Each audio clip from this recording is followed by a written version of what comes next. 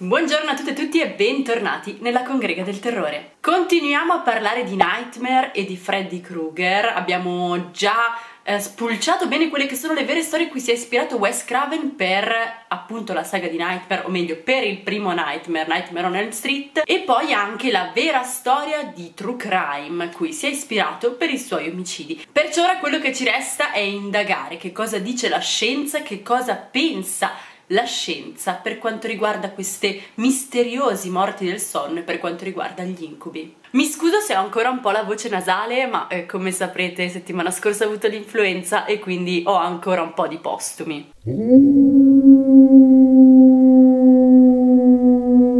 Se vi ricordate nel primo video, se non l'avete visto uh, ve lo lascio qui da qualche parte o comunque lo trovate qua sotto in descrizione, potete recuperarlo tranquillamente anche alla fine di questo video,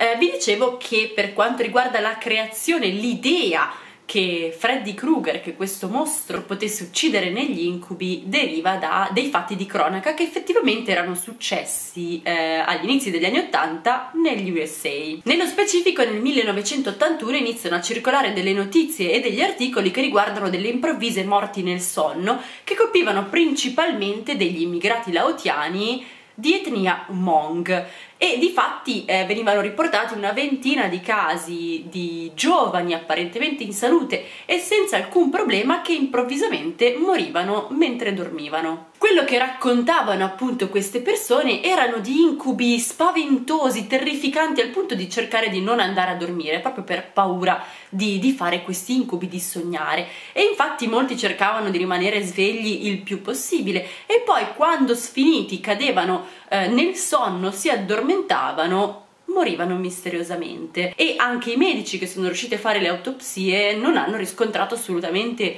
nulla, sembrava non ci fosse alcun problema. Soltanto più recentemente è stato ipotizzato che ci potesse essere un collegamento con una sindrome eh, cardiaca che è la sindrome di Brugada, che è una delle malattie eh, principali di, che provocano appunto queste morti cardiache improvvise, nonostante comunque non sia una sindrome così comune. E come vi dicevo sempre nel primo video, naturalmente tutti questi fatti sono stati studiati dalla scienza, gli scienziati si sono interessati per cercare di venirne a capo e di capire di che cosa si possa trattare, quali possono essere le cause di queste morti improvvise che a quanto pare colpiscono principalmente le persone asiatiche. Difatti nel 1987 è uscito uno studio che eh, riguarda proprio questi, questi morti, queste persone di etnia Hmong che eh, misteriosamente morivano perché non succedeva soltanto negli Stati Uniti ma anche in Asia, nello specifico in Thailandia. Infatti questo studio si concentra principalmente su un campo profughi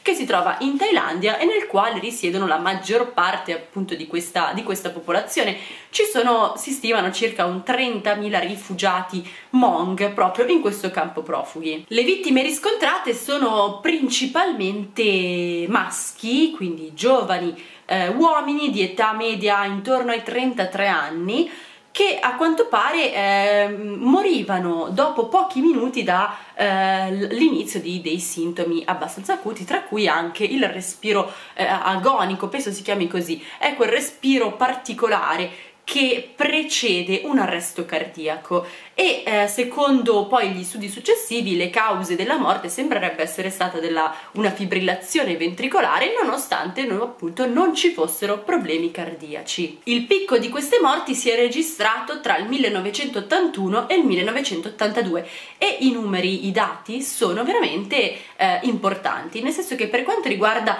proprio l'etnia Hmong ehm, si stima sia il, siano 92 su 100.000 persone quelle che effettivamente muoiono nel sonno misteriosamente, mentre per altre etnie, sempre laotiane, siamo su, sugli 82 ogni 100.000 e su 59 ogni 100.000 per quanto riguarda invece i cambogiani. Ma come vi dicevo, comunque questi sono, sono dei casi che si sono registrati bene o male in gran parte dell'Asia, si sono registrati nelle Filippine, si sono registrati eh, in Giappone, in Cina, insomma un po' ovunque, tant'è che anche nelle varie culture eh, è stato dato un nome a, questo, a questi strani eventi. Ad esempio nelle Filippine si parla di bangungut, che significa alzarsi e lamentarsi nel sonno, infatti in letteratura si ritrovano dei casi risalenti al 1917. Ma comunque l'Honolulu Medical Examiner ha registrato una cosa come 81 casi simili tra il 1937 e il 1948, quindi insomma sono delle situazioni che non sono nuove degli anni 80. Ancora in Giappone si parla di pokkuri, cioè casi di morte improvvisa e inaspettata. E anche in questo caso vengono registrati fin dal 1959 ma eh, comunque il Tokyo Medical Examiner registra più di centinaia di casi all'anno di morte improvvise durante il sonno. E infine anche proprio in Thailandia si parla di Lai Tai, e cioè di morte durante il sonno. In ogni caso in questo studio di eh, Ronald G. Manger, del, appunto del 1987, eh, sono stati studiati questi casi, questo campo profughi thailandese in cui c'era una, una grande presenza di popolazione Hmong che sembra essere quella maggiormente colpita come appunto abbiamo visto anche dai dati. Che cosa hanno studiato? Allora hanno rilasciato dei questionari da, da dare principalmente ai parenti delle vittime. Ma come hanno deciso chi studiare? Allora si sono basati su tutte quelle persone che hanno eh, sviluppato dei sintomi e che sono morti eh, entro le 24 ore ovviamente durante il sonno, dall'insorgenza di questi sintomi acuti. Quindi se passavano più di 24 ore non venivano prese in considerazione, così se la morte avveniva eh, in stato di veglia, quindi non mentre dormivano. Perciò insomma è stata fatta una selezione iniziale e sono stati dati appunto dei questionari per cercare di capire quali potessero essere eh, le concause o le, le, situazioni comuni, insomma queste persone che potessero dare una dritta sul, per cercare di capire che cosa stesse succedendo. Qual è il problema? Allora, il problema di questo tipo di studi eh, è che la religione Hmong non accetta ad esempio che vengano fatte delle autopsie perché naturalmente immagino eh, la domanda fosse, eh, sorgesse spontanea, no? A questo punto chiedersi come mai non si sono fatti delle, degli studi, del, delle autopsie insomma su questi corpi, su questi morti per cercare di capire quale potesse essere la causa della morte o perché non sono state fatte altre analisi. La risposta è questa, quindi eh, a questo punto l'unica soluzione eh, che si sono ritrovati era quella di intervistare quindi i parenti o eh, gli, i vicini insomma di, di, queste vittime per cercare di capirne le abitudini e gli eventuali sintomi. Per quanto riguarda invece i casi di morte eh, in America, lì probabilmente la legge è diversa e quindi eh, sono riusciti a fare delle autopsie che però hanno rivelato un nulla di fatto. In totale sono state studiate 27 morti, delle quali 16 rientravano in queste morti improvvise e inaspettate durante il sonno di giovani apparentemente in salute. Le altre 11 invece sono state escluse perché avevano presentato dei sintomi gravi eh, prima delle 24 ore precedenti alla morte, quindi eh, si vede che due giorni prima o tre giorni prima avevano iniziato a star male, quindi non erano soggetti in salute, oppure non c'erano sufficienti informazioni per poter eh, delineare insomma un caso o ancora queste morti non sono avvenute appunto mentre dormivano. Di queste 16 persone 12 erano maschi e 4 eh, femmine e sul totale 3 persone sembrano essere morte effettivamente all'improvviso, cioè senza aver dato alcun segnale in precedenza, mentre 13 persone sono morte a pochi minuti di distanza da eh, alcuni segnali, come ad esempio appure, appunto come vi dicevo questo respiro agonico, quindi questo respiro molto particolare, oppure un, un, una sorta di agitazione. Diciamo che indicativamente la morte arrivava a distanza di 10 o 30 minuti dall'inizio di questi sintomi. Ma non è finita perché un fatto eh, che ho trovato molto interessante è che a questi 16 casi poi se ne sono aggiunti degli altri che riguardavano delle parentele molto strette con le vittime, come potevano essere il nipote o la figlia. Mentre per quanto riguarda i controlli, perché naturalmente eh, sono stati selezionate diverse persone, quindi anche persone alle quali poi di fatto non è successo nulla, quindi che non sono morte, e per quanto riguarda le famiglie che non hanno avuto dei decessi eh, appunto durante questo, questo, studio non hanno avuto neanche decessi per quanto riguarda eh, i familiari, quindi insomma ci sono stati proprio dei nuclei familiari che pare siano stati colpiti eh, maggiormente. Perciò pareva ci fosse una particolare sindrome che colpisse principalmente la popolazione del sud-est asiatico,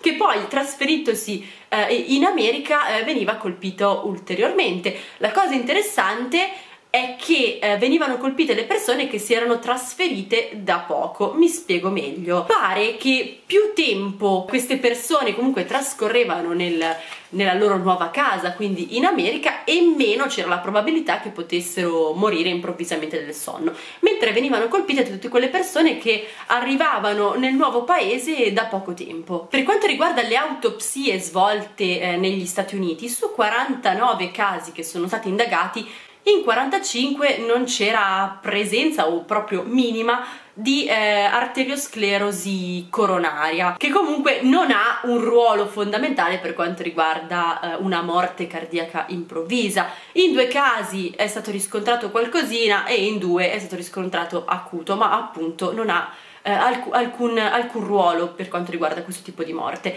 mentre per quanto riguarda trombi oppure eh, infarti del miocardio non è stato registrato assolutamente nulla in nessuno dei 49 casi che sono stati indagati. Perciò diciamo che in generale la comunità scientifica si è direzionata principalmente nel cercare delle corrispondenze con altre sindromi cardiache e più recentemente, come vi dicevo anche all'inizio, si è pensato che si potesse trattare di una sorta di eh, sindrome di Brugada che colpisce principalmente eh, le persone europee. E su questo caso eh, se ne è studiato nel 2002 in questo articolo eh, che è stato svolto in collaborazione con più centri e con più università, da quelli degli USA alla Spagna alla Thailandia. Questo studio andava appunto ad indagare se ci potessero essere delle corrispondenze a livello genetico per quanto riguarda eh, queste morti improvvise e nello specifico appunto la sindrome di Brugada. Comunque tutti questi, questi articoli ve li lascio qua sotto in descrizione in caso vogliate leggere e approfondire maggiormente questi, questi argomenti. Questo perché apparentemente ci sono eh, delle similitudini a livello clinico per quanto succede eh, appunto in queste morti nel sonno improvvise e quanto accade nelle morti eh, di quelle persone che appunto soffrono di questa sindrome. Perciò sono state fatte appunto delle analisi a livello molecolare e è stato ritrovato che eh, in entrambi i casi c'è una mutazione del gene, lo leggo perché non ce la posso fare, eh, SCN5A, non so se si legge così, eh, spero di sì, comunque ve lo lascio scritto qua sotto. Ma cerchiamo di capire meglio insieme che cosa è saltato fuori da, da questo studio. Io cercherò di essere il più chiaro e comprensibile possibile, nonostante sapete eh, anche voi che comunque non è il mio campo di studi, perciò spero di riuscire a farmi capire e spero di aver anche di aver capito giusto. In poche parole, le morti cardiache improvvise di solito sono a carico di delle aritmie ventricolari, che sono caratteristiche appunto della sindrome di Brugada e della sindrome da cuti lungo, che è una condizione in cui il, il cuore impiega più tempo eh, a rilassarsi tra un battito e un altro. E come vi dicevo, anche in questi casi di improvvise improvvisa durante il sonno erano caratterizzati dalle delle aritmie ventricolari, ma avevano anche un altro fattore in comune proprio con la sindrome di Brugada, e cioè delle anomalie nell'elettrocardiogramma, mentre con sia la sindrome di Brugada appunto che quella del cutilungo avevano in comune il fatto che eh, le morti avvenissero principalmente la notte durante il sonno. E in più la mutazione di questo gene dell'SCN5A è stata ritrovata anche in pazienti che avevano entrambi le sindromi, sia quindi sia quella di Brugada che è proprio eh, diciamo la caratteristica principale, che anche la sindrome del cutilungo. Perciò alla fine della fiera quello che eh, si, si, presuppone, quello che si ipotizza è che queste morti inspiegabili eh, che, che colpiscono la popolazione del sud-est asiatico possano dipendere da una, una variante di, eh, di, una di queste due sindromi, principalmente di quella di Brugada o dell'unione delle due. Ma parlando di questa storia, quindi parlando del mostro degli incubi, perciò tornando a Nightmare,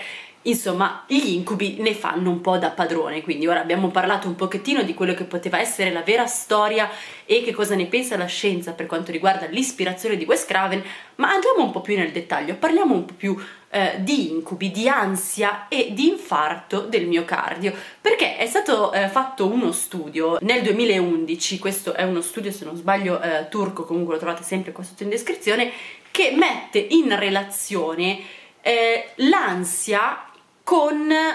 eh, una, una, maggiore predisposizione ad avere un infarto del, mio, del miocardio durante la notte, quindi l'ansia più che altro eh, l'ansia di dormire, quindi eh, un, un, riposo poco quali qualitativo, quindi scarsa qualità del sonno, insomma, e eh, appunto infarto. Perché però si è arrivato a studiare questa cosa? Cioè perché uno è venuto in mente che queste due cose possano essere correlate? Perché l'incidenza di infarti non è uguale per tutte le 24 ore, ma si riduce notevolmente durante il sonno perché eh, quando si dorme eh, la pressione sanguigna comunque si abbassa, quindi ci sono meno in generale, meno condizioni, meno situazioni che possono portare ad un infarto. Ma dall'altra parte ci sono dei casi, eh, sono un 10, un 25% di, di, di pazienti, di persone che invece eh, tendono ad avere degli infarti proprio durante il sonno. E l'ipotesi di tutto questo risiede nella fase REM, quindi in quella fase dei movimenti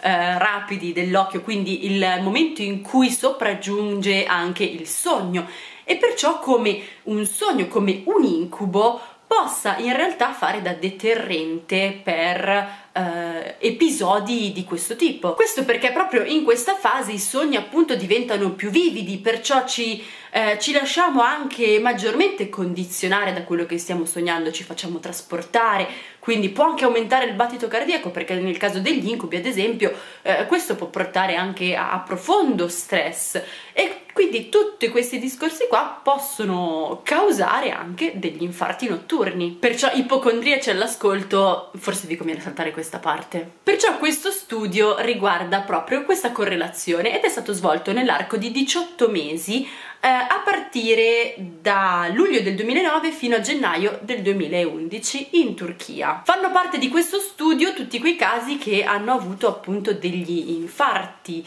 eh, del miocardio durante la notte, escludendo però tutti coloro i quali avevano anche una, eh, una diagnosi eh, psichiatrica che potevano soffrire, non lo so, di depressione oppure che prendevano dei medicinali che andavano in qualche modo ad influire su, sulla psiche e che quindi potessero comunque indurre in qualche modo una scarsa qualità del sonno o che già alla base ci potesse essere una sorta di profondo stress e che quindi insomma le origini di questo stress, di questi brutti sogni potessero essere di altra natura. Perciò lo studio si è basato su due gruppi sostanzialmente, erano 36 persone che appunto avevano avuto un infarto del miocardio durante la notte e poi un gruppo di 180 180, non mi ricordo, 183 persone che invece l'avevano avuto durante la veglia l'obiettivo era proprio quello di vedere le differenze e poter valutare l'incidenza dell'ansia. E il risultato è sorprendente ma forse anche eh, logico, nel senso che tra eh, i pazienti che hanno avuto infarto del miocardio durante la notte si è registrato una più alta frequenza di incubi, difficoltà poi a riaddormentarsi anche eh, dopo un incubo, oltre a iperattività, ehm, continui incubi ricorrenti, ansia anche durante, durante il giorno, problemi psicologici e anche eh, un, un, tipo di ansia durante il sonno che aumentava sempre di più e tutto questo era eh, decisamente eh, in contrasto con quanto invece rilevato dalle persone che l'infarto l'avevano avuto durante il giorno, quindi mentre erano svegli. Perciò in conclusione questo studio effettivamente ha dimostrato un'associazione tra eh, l'ansia e gli incubi e anche un, una maggiore incidenza di infarti del miocardio. E che quindi come l'ansia possa essere essa stessa un, um, un, fattore scatenante proprio questo tipo di problema. Ma ora ci pone ci arriva un altro quesito e cioè definire che cos'è un incubo. In questo studio del 2018 fatto, eh, fatto in Germania veniva sollevata una criticità per quanto riguarda la definizione di incubo e di brutto sogno. Perché la definizione era già stata data dalla classificazione internazionale dei disordini del sonno, mi sono dimenticata di cercare la traduzione prima, quindi se traduco eh, letteralmente, eh, vabbè, al massimo ve lo lascio scritto qua sotto, e eh, dal manuale diagnostico e statistico dei disordini mentali e definivano appunto gli incubi come dei brutti sogni effettivamente che però portavano un senso di minaccia, un senso di paura, un senso di pericolo anche per se stessi. E questo eh, lo, lo, specifico perché è molto importante per per, poi lo vedremo col eh, corso di questo studio, e che poi sia anche comunque ehm, un sogno che, che, noi ricordiamo, quindi qualcosa che in qualche modo ci rimane dentro e che ci infastidisce. Successivamente eh, il termine incubo è stato associato a un disturbo d'ansia, un, un'ansia da insonnia, insomma, penso sia questa la traduzione eh, italiana di Dream Anxiety Disorder. E eh, perché? Perché associavano appunto agli incubi eh, quelli, quei sentimenti, quelle emozioni principalmente di, eh, di, paura e di pericolo, ma in realtà quello che eh, solleva questo eh, articolo è che ci sono anche altre emozioni che andrebbero riconsiderate nel momento in cui si definisce un incubo, perché ci sono anche tutte quelle, quelle emozioni come ad esempio il disgusto, come ad esempio eh, la rabbia, che dovrebbero essere considerate. Perciò in questo studio sono stati analizzati i temi principali eh, degli incubi, senza però dare alle persone, quindi ai soggetti, che sono in totale 2879 eh, persone, delle quali 1784 femmine e 1095 eh, maschi ai quali non viene data una definizione di incubo, quindi viene lasciata una libera interpretazione in base a quello che è stata la loro percezione di quel brutto sogno e gli viene chiesto di raccontare l'incubo più recente. Prima però viene, vengono fatte delle domande, delle domande per capire anche qual, qual è la frequenza di questi, eh, di questi, incubi e le risposte erano in tutto sette, quindi eh, meno di una volta all'anno, circa una volta all'anno, circa dalle 2 alle 4 volte all'anno, una volta al mese, dalle 2 alle 3 volte al mese, una volta a settimana, diverse volte a settimana. In questo modo si poteva fare anche un bel, eh, una bella tabella che comunque vi metterò qui da vedere ma che troverete sempre qua sotto in descrizione per cercare di capire anche quali sono i fattori comuni eh, e se ci sono soprattutto dei fattori comuni per quanto riguarda la frequenza di questi incubi e come vengono percepiti e soprattutto anche riguardo ai temi e alle emozioni che hanno, che hanno portato. E a questo punto arriviamo alla parte ehm, importante, se vogliamo, insomma, di questo studio, e cioè la descrizione dell'incubo. Veniva chiesto di descrivere nei minimi particolari tutto ciò che la persona era in grado di ricordare di quest'incubo, cercando di prestare particolarmente attenzione alle eh, persone coinvolte, quindi chi e, o che cosa, insomma, avevano sognato, che ruolo avessero all'interno del sogno, qualsiasi tipo di dettaglio che potesse riguardare anche ad esempio l'ambientazione del sogno stesso e le emozioni che, eh, che gli hanno portato in modo tale da cercare di individuare quello che era il tema principale di quest'incubo. Perché c'è stato un, uno studio eh, precedente che aveva eh, trovato un certo numero di, di, temi che erano associati agli incubi però loro in realtà ne hanno aggiunti degli altri perché come vi dicevo gli andava un po' stretto questa definizione di incubo che prevedeva soltanto quei sentimenti di paura e, e di pericolo senza eh, considerare anche eh, la, la rabbia o che comunque consideravano soltanto le cose che potessero accadere alla persona stessa senza considerare come incubi anche magari quei sogni dove ad essere in pericolo poteva essere una persona cara o che comunque le cose potessero le cose brutte in generale potessero accadere a qualcun altro. Se vi va di raccontarlo raccontate anche voi qua nei commenti quello che è stato il vostro incubo più recente. Sarebbe molto interessante comunque andare a spulciare tutti i vari incubi e vediamo un po' di quale categoria, di quale tema fate parte. Approssimativamente il 16% delle persone che hanno partecipato a questo studio hanno riportato di avere una frequenza eh, di incubi di più volte alla settimana, mentre tutto, tutti gli altri, bene o male, hanno, hanno detto di aver avuto o di avere occasionalmente comunque degli incubi. Ma veniamo adesso ai risultati che sinceramente ho trovato molto più interessanti, e cioè i temi, i temi di questi incubi. Allora, la maggior parte delle persone, quindi siamo a 1076, fanno degli incubi abbastanza specifici, quindi riguardanti un singolo tema concentrati proprio fissi su quello. Mentre sono eh, 137 gli incubi che hanno un po' più di sfumature che prendono diverse emozioni. Ma eh, ad avere la maggiore quindi a detenere insomma la coppa delle case sono eh, gli incubi principalmente legati a eh, un senso di, di, di, impotenza e di fallimento, questo soprattutto per quanto riguarda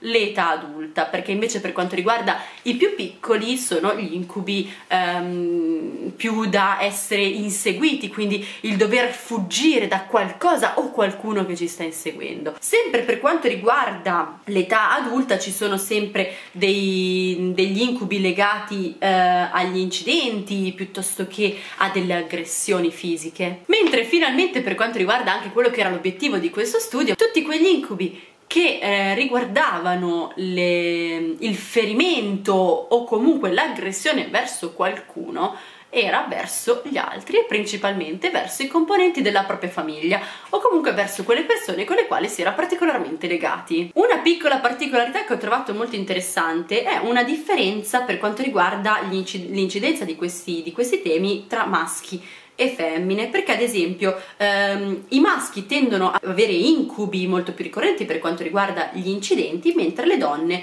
principalmente per quanto riguarda le aggressioni fisiche. E in questo caso per quando queste aggressioni sono principalmente a sfondo sessuale sono di solito ehm, attuate da per quei, per quei casi in cui appunto viene riconosciuto anche l'aggressore da, eh, da, uomini, mentre ci sono casi in cui non si riconosce il genere del, dell'aggressore oppure sono aggressioni avvenute da, da terzi, da animali o, o da alieni. Ma diciamo che in generale il trend meno male rimane sempre quello tranne per tutte quelle persone che voi potete trovare nella penultima colonna che riguardano le percentuali dei temi degli incubi legati a chi ha eh, incubi frequenti, quindi chi li ha, non so, eh, più volte ad esempio alla settimana, nei quali si può vedere che ricorre principalmente eh, il fatto di, di, di avere dei, dei, conflitti interpersonali rispetto invece al caso degli incidenti, quindi queste due voci andrebbero switchate, quindi c'è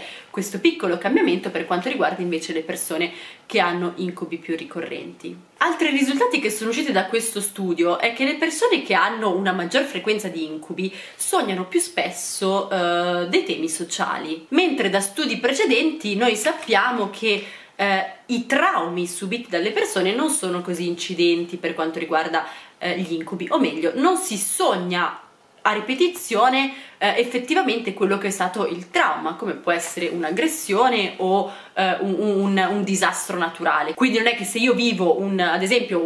un terremoto, cioè un terremoto, io poi la notte sogno il terremoto a ripetizione, ma sognerò l'emozione che io ho provato durante questo terremoto e poi la rielaborerò insomma in questi incubi assurdi perciò ci sta che le, anche i temi eh, riportati dai nostri, dai nostri, soggetti non corrispondano al 100% volendo neanche ai traumi che hanno subito. Tra tutti questi tra l'altro c'è un solo un 1% di persone che sognano di essere loro stesse gli aggressori e non le vittime. E qui forse eh, provano a spiegarlo dicendo che magari eh, è perché loro hanno un'indole particolarmente aggressiva anche durante il resto ehm, de della loro vita, della loro giornata, non che siano persone violente nella vita, ma che hanno comunque in generale un'indole aggressiva. Un'altra correlazione che è stata trovata sempre da eh, degli studi recenti riguarda gli incubi con i sogni lucidi. Non so se avete presente, sono quei sogni in cui tu sei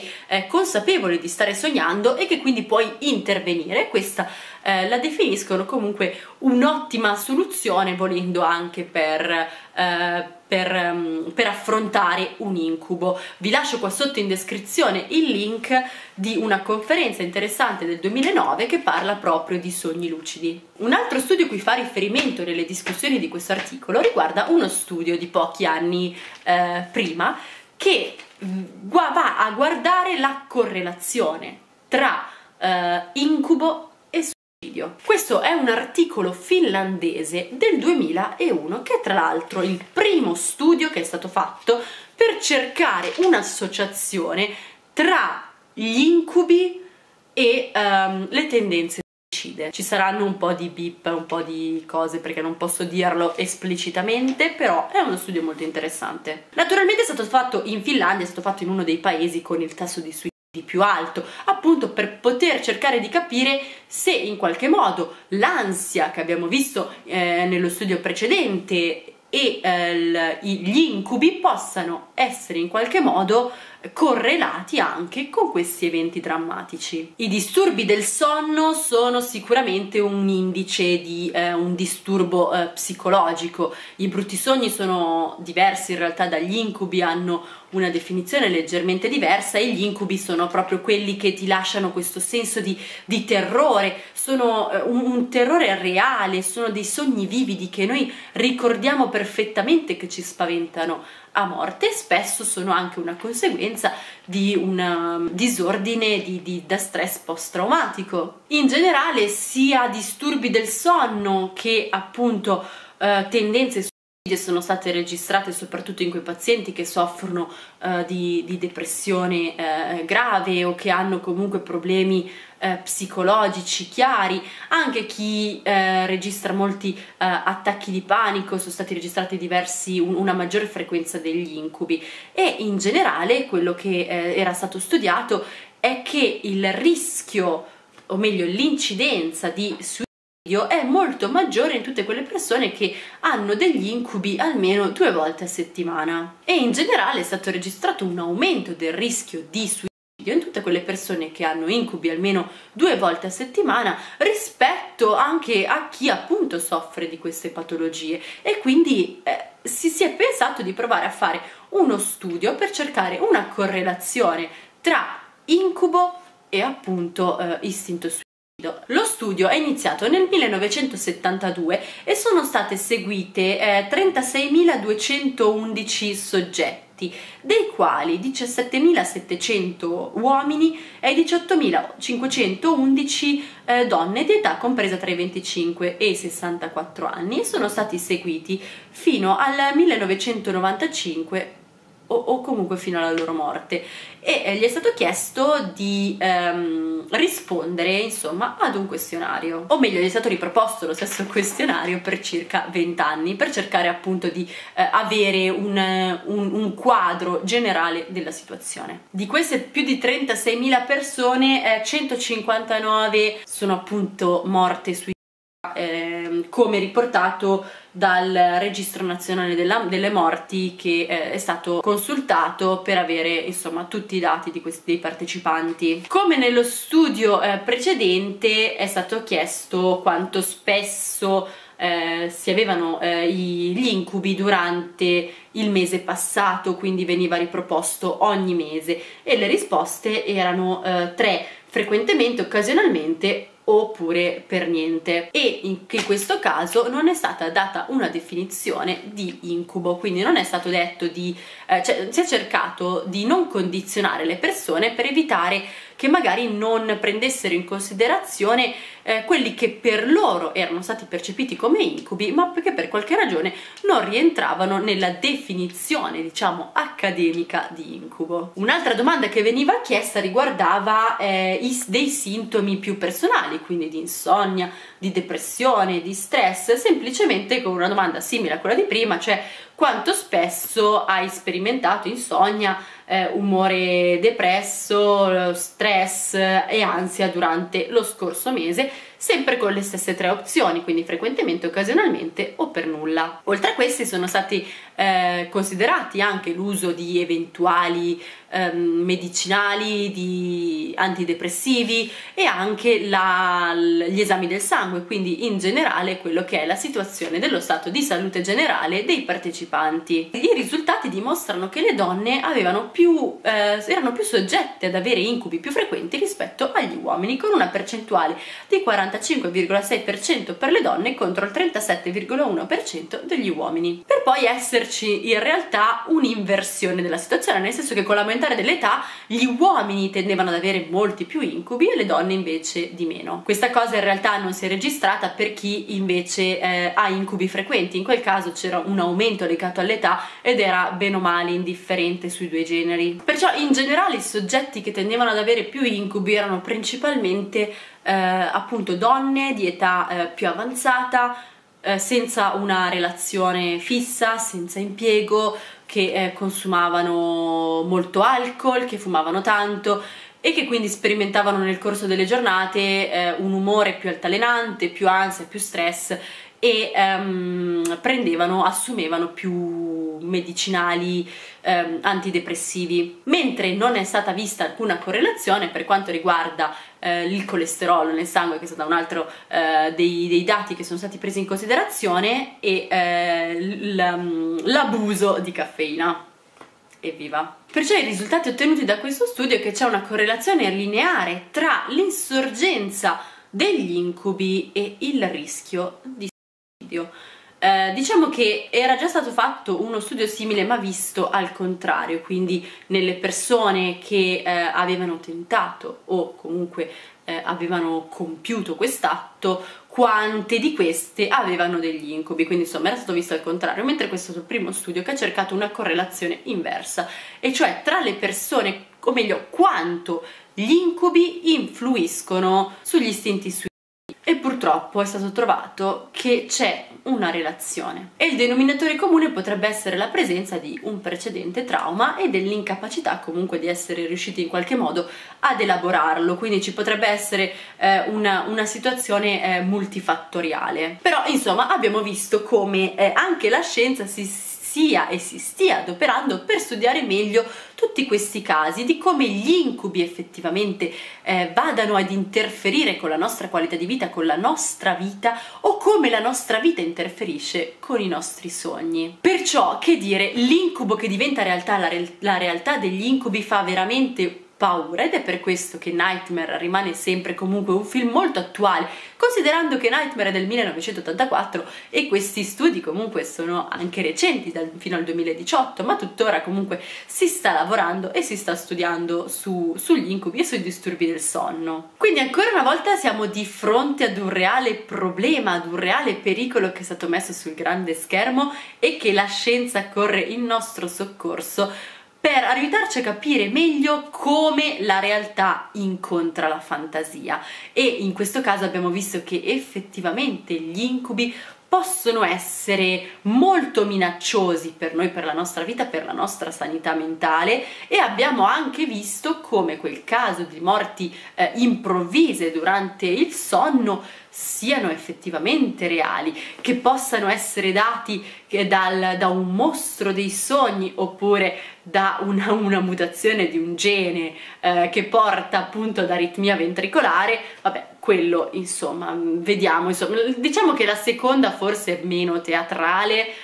però fa paura comunque, vaffanbagno. Insomma, anche per oggi è tutto, io spero di non avervi annoiato troppo con tutte queste nozioni scientifiche che vi ho vomitato addosso in questo video, spero possiate averlo trovato interessante tanto quanto il video sulla scienza di Vladimiri. Mi raccomando fatemi sempre sapere qui sotto nei commenti se vi piacciono anche questi, questi video più scientifici e meno, meno paurosi forse, ma anche no. Da comunicatrice scientifica naturalmente io spero che questi video vi interessino perché a me piace molto andare a ricercare un po' quello che pensa la scienza di tutte queste cose, poter leggere tutti questi articoli scientifici, potervene parlare potervi, e poterveli raccontare. Perciò che dire se vi siete persi le scorse due puntate che erano meno tecniche per quanto riguarda eh, la storia, le vere storie di Nightmare, vi trovate trovate sempre qua sotto in descrizione insieme a tutti i link di questi articoli. Perciò se non li avete visti mi raccomando andateli a recuperare lasciate un bel like se i video, se questa saga vi è piaciuta e lasciatemi un feedback qui sotto nei commenti. Iscrivetevi anche al canale, attivate la campanella e seguitemi sui social per non perdervi tutte le novità